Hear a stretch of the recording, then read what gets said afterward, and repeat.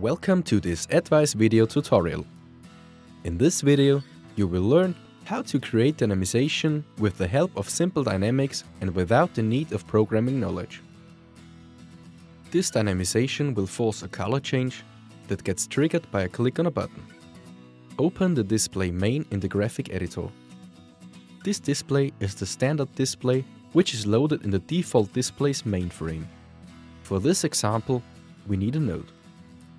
To create one, right-click on Objects and select Add Node, Data Variable, Boolean. Give the node the name bool1.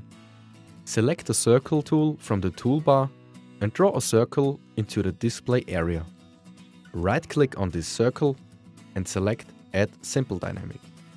The Simple Dynamic dialog with its four areas pops up.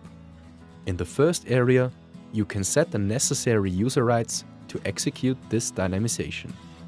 Since there is no right required for this example, select None to skip the step.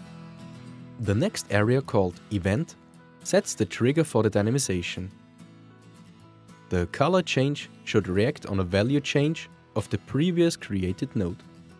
So the event selection node is correct.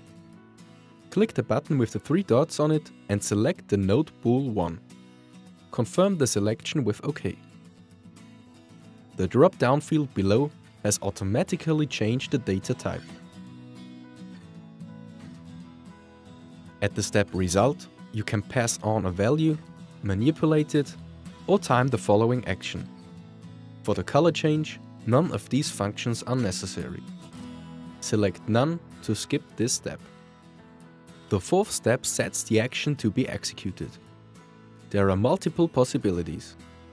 For this example, choose Color. The pre-selected action type Discrete is correct. If the value is true, the fill color should turn green. Click the button with the three dots on it and select the green color tone from the color palette. Confirm your selection with OK. Click the button Add After to add a new condition. If the value is false, the fill color should turn gray. Change the value for the condition to false and select the gray fill color. Now save the changes with a click on OK. The simple dynamic has been added to the dynamization area. You can edit dynamizations with a right click on the corresponding entry. To trigger the color change, a value change has to be done first drag and drop the node from the project tree into the display area. atvise Builder automatically detects the data type and inserts a button that toggles boolean values for the corresponding node. Save the display and open the visualization from the atvise Builder menu. Therefore, go to Guided Actions, open Web Browser for Server, My Server, HTTP 1. Test the dynamization now. As you see, the button shows the node's value too. Switch back to the atvise Builder. Now you're going to create a self-made button to toggle the value change.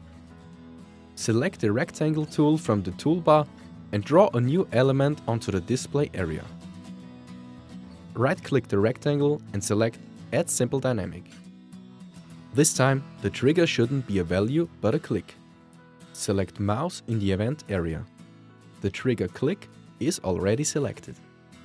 Because you need to know the node's actual value to change it to the opposite, activate the step Result with a click on Change Result. The pre-selection node is correct. Select the same node that has been used for the color change before. As action, the boolean value has to be set to its opposite and written back to the node. Therefore select Node and as type choose condition-based values discrete. If the node's value is true, then false has to be written back to the node. As address, select the node bool1 again. Set false as value in the text field. Click Add After to create a new condition. Now set the initial value to false, choose the same node as before and enter true as value in the text field. Save the dynamization with OK. The element Simple Dynamic has been added to the dynamization area. Every dynamization you create whether it's a quick or a simple dynamic, generates a script. These scripts can be edited with the script editor that is integrated in atvise Builder. Open the script editor from the toolbar. The first script block is responsible for the circle's color change. The second one does the value change triggered by your self-made button. Close the script editor and save the display. Now switch to the visualization. Reload the page in your browser and test your self-made button. Excellent!